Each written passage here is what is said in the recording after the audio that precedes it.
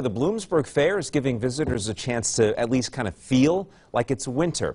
I got a chance to check out a special display that included a snowman made of flowers and a melting ice fountain, all underneath a light snow shower.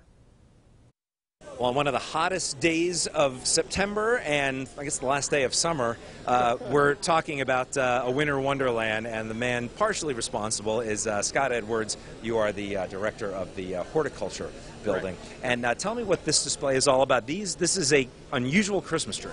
Very unusual. Snowman. Snowman. Yeah, there you go, snowman.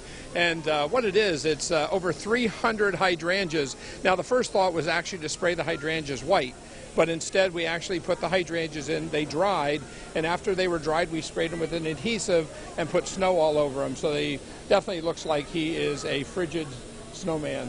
How long did that take to put that together? Yeah? Uh, about two days. Unbelievable. That's great. And then we move over here. We kind of continue the Winter Wonderland theme. It's kind of starting to make me feel a little bit cooler. Not yet. It's about 90 degrees in this building. Explain this one here. Well, this is the fountain. Uh, every year we do something different with the fountain, but uh, usually it has water squirting all the way to the ceiling. This year we turned down the volume so it looks like the, uh, the ice is melting.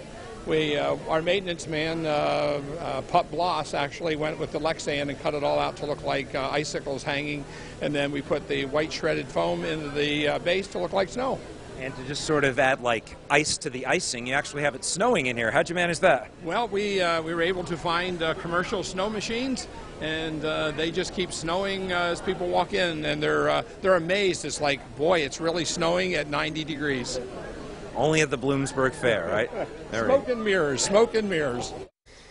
The kids had a lot of fun too there. And the holiday theme continues in the horticulture building with the Point Township Garden Club's Winter Wonderland display, including some beautiful table centerpieces and door decorations. And by the way, more than 47,000 people attended the Bloomsburg Fair today in Columbia County. They're getting big crowds out there. Mike